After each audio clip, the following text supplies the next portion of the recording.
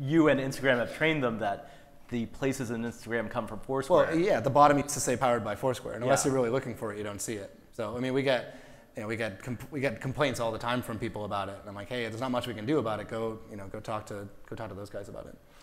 Um, you know, Instagram very famously sold for one billion dollars at the time. Uh-huh. Um, people said a big value is that they could attach photos to places. Do you feel like they built that one billion dollars on your back?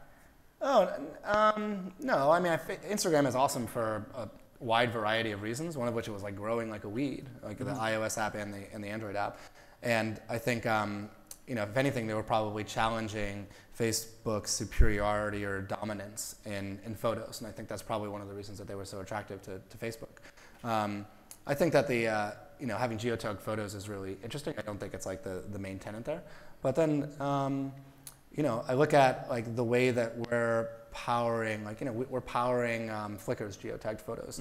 Like we have, gosh, I think we have almost 50 million photos in our database. I might, I'd have to double check that number. But there's like, there's a lot of photos that we have that we've gotten from users.